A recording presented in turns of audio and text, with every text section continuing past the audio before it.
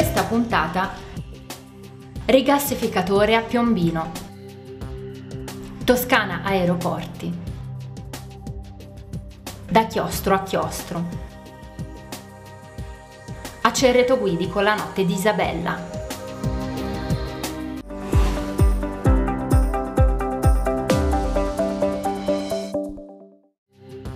Al termine del lungo dibattito sulla comunicazione della Giunta in merito all'ipotesi di posizionare un rigassificatore nel porto di Piombino ed alla situazione relativa alle infrastrutturazioni, alle bonifiche ed alla reindustrializzazione dell'area siderurgica, l'Aula di Palazzo del Pegaso ha votato a maggioranza la proposta di risoluzione del Partito Democratico con 22 voti a favore, 12 astenuti e un voto contrario, quello del portavoce dell'opposizione Marco Landi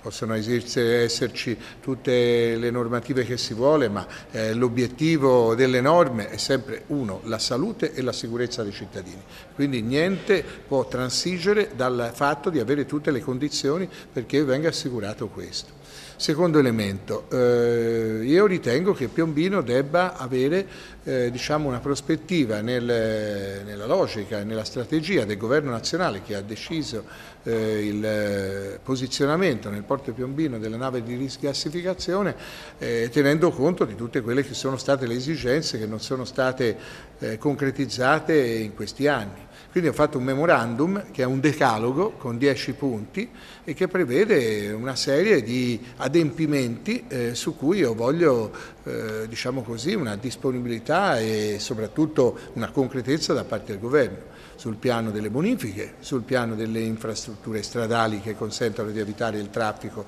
che va verso il porto nella città, sul piano eh, della nuova visione eh, del promontorio e quindi sulla realizzazione di progetti di energie rinnovabili, eolica, fotovoltaica, ma anche di realizzazione di un eh, distretto per la produzione di idrogeno e poi il rilancio della siderurgia eh, con forno elettrico, non certo con l'inquinante altoforno eh, e naturalmente anche il completamento dello stesso porto che finora è stato realizzato a spese della Regione, né del Comune né dello Stato, della Regione Toscana che ci ha messo 150 milioni per realizzare quella, quella banchina dove andare il rigassificatore e ancora ci sono opere per circa 120 milioni, cioè la seconda banchina e tutta una serie di opere complementari su cui nel momento in cui si utilizza quel porto il governo sicuramente si farà carico di realizzarla. Quindi il memorandum nel decalogo dei 10 punti è per me elemento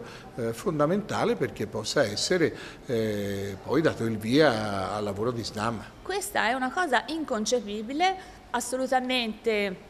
da non fare, eh, la, la, città di Piombino ha già pagato eh, in termini ambientali un prezzo altissimo, stiamo bloccando non solo lo sviluppo della, economico della città di Piombino che attende le bonifiche da decenni, ma mettiamo a repentaglio la sicurezza di un'intera città e soprattutto la trasformiamo in un obiettivo sensibile in caso di attacco armato o di attacco militare da parte della Russia. Deve essere un intervento che va nella logica di creare lavoro, creare ricchezza. Io mi auguro anche grandi opportunità per tanti cittadini della costa che possono a quel punto avere un approvvigionamento energetico magari senza sostenere dei costi. Questa deve essere una scelta importante, quindi vantaggi per le imprese, vantaggi per i cittadini, opportunità per la Toscana, l'idea di andare avanti avanti, di fare riforme, di fare investimenti, di andare e di credere in forme alternative di approvvigionamento energetico deve essere una risposta di autorevolezza che dà forza al nostro governatore. A me fa piacere che Italia Viva, sotto la mia firma, abbia presentato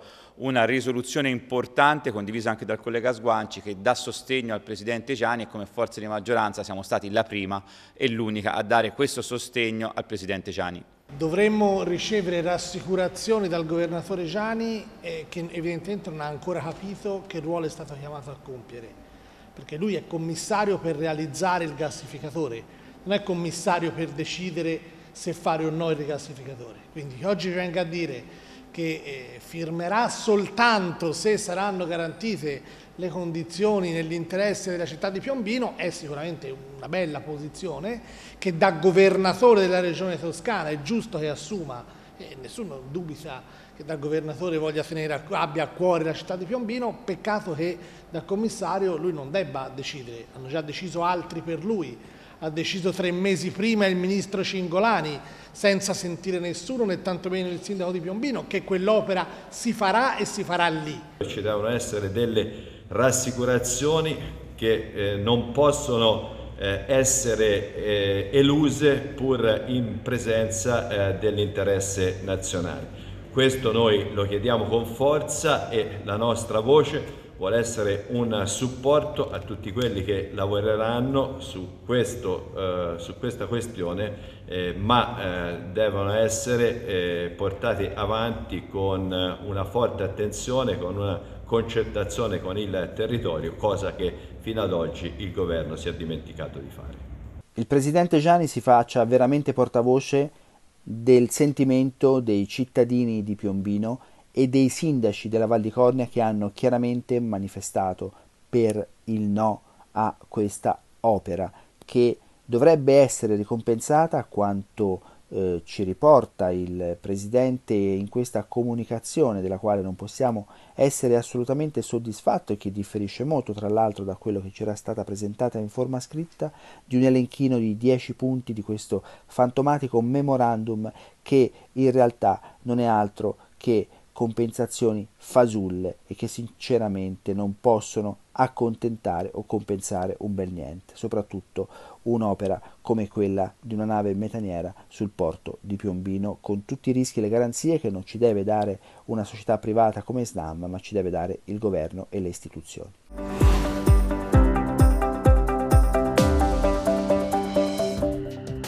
Toscana Aeroporti, Consiglio regionale contrario alla distribuzione di 7 milioni di dividendi ai soci. L'Aula approva all'unanimità la mozione presentata da Fratelli d'Italia ed emendata dal Partito Democratico. Via libera anche agli ordini del giorno di Lega e Movimento 5 Stelle, respinta la proposta di risoluzione del gruppo misto Toscana Domani. Ma è evidente che la garanzia principale deve essere quella occupazionale, deve essere quella del fatto che le attività aeroportuali devono funzionare, per una regione come la Toscana la fruibilità degli aeroporti, la funzionalità di una società così importante che consente in maniera integrata di lavorare sia a Firenze che a Pisa è fondamentale nella ripartenza eh, del turismo, lo stiamo vedendo in queste settimane in un contesto europeo che comunque vede i voli aerei in grave difficoltà, basta guardare il numero degli annullamenti che ci sono stati nelle ultime settimane e quindi credo che quella scelta fatta a suo tempo sia stata importante, lungimirante, perché ha consentito di tenere in piedi un sistema che ha bisogno di fare investimenti, che ha bisogno di sviluppare, che ha bisogno di fare l'adeguamento delle infrastrutture, penso alla nuova pista di Peretola e penso alla possibilità e al diritto che ha la città e la Toscana di avere un aeroporto all'altezza del blasone, della storia e del valore che ha la nostra regione e che ha il capoluogo della regione. Sì, Toscana Aeroporto ha ricevuto un contributo di 10 milioni di euro da parte della Regione Toscana per far fronte alla crisi pandemica,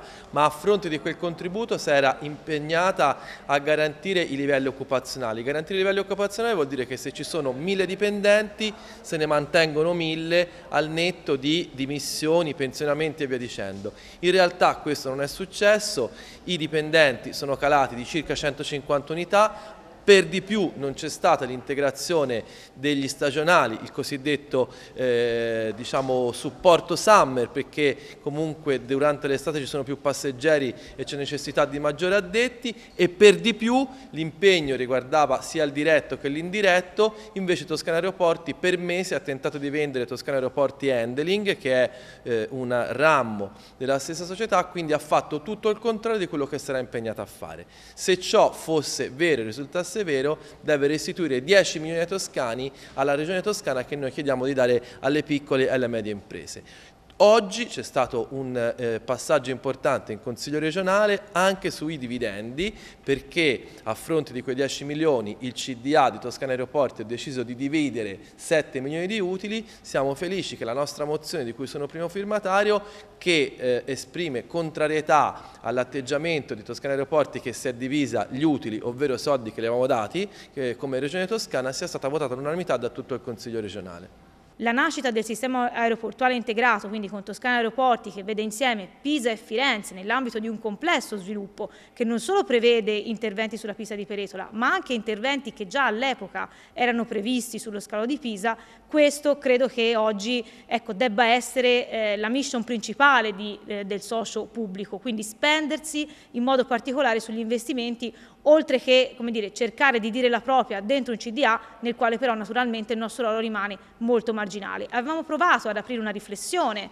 su questo, quindi se ci fosse eventualmente la volontà di Regione Toscana in qualche modo di ripensare a questo suo ruolo pubblico, magari eh, attraverso un aumento della propria partecipazione societaria, non abbiamo trovato eh, un'apertura. Io credo invece che nel complesso della revisione del pacchetto delle società partecipate si debba invece fare un'attenta valutazione di quelli che oggi sono settori strategici sui quali si vuole puntare e che possono anche rendere in termini di utili e quelli che invece oggi appaiono settori settori in cui francamente non vediamo altra strada che la dismissione. Come Lega abbiamo presentato un atto, abbiamo chiesto alla Giunta regionale che faccia un'indagine appunto su tutto il settore, su tutte le dipendenze occupazionali e che venga a settembre per farci capire, relazionare se veramente sono stati rispettati o no i livelli occupazionali perché da quello che ci dicono i sindacati e tutte le persone che abbiamo incontrato piuttosto purtroppo questo patto no, non è stato rispettato. Siamo finiti su un giornale inglese, un tabloid inglese, ma non perché si parla di nuovi numeri e si dice che finalmente la Toscana riparte, ma perché abbiamo tenuto una serie di, di, di cittadini e una serie di visitatori della nostra Toscana rinchiusi per ore vicino ad un gate perché praticamente non si sapeva se un volo partiva oppure no. Questa non è l'immagine della Toscana che noi vogliamo, questa non è l'immagine che i toscani meritano e soprattutto dopo un contributo di 10 milioni credo che gli investimenti di Toscana Aeroporti debbano essere altri rispetto a no personale e a chiusura di alcuni servizi.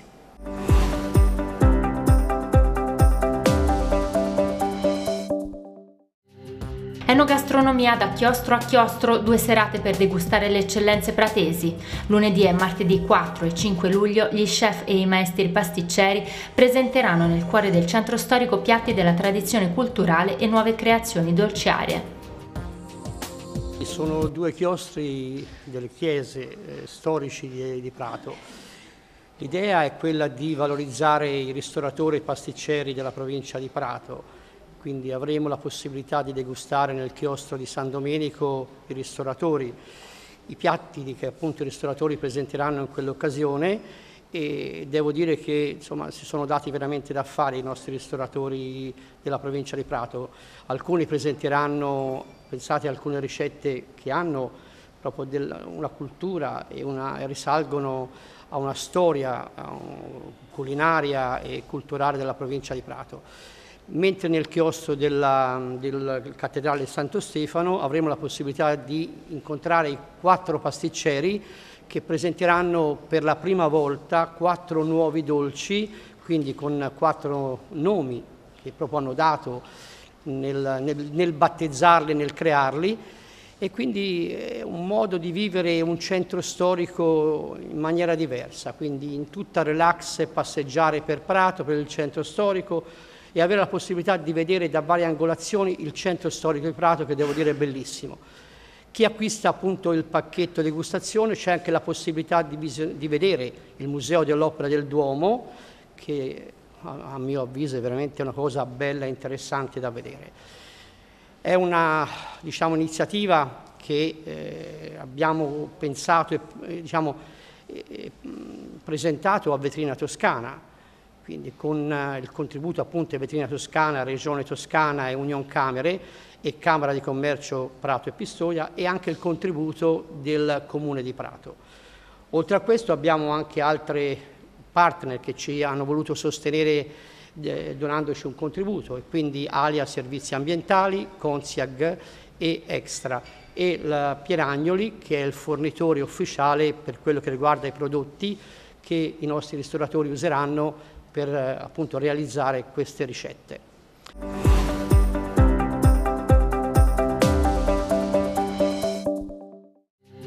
Evento a Cereto Guidi con la notte di Isabella, un viaggio nella magia del Cinquecento.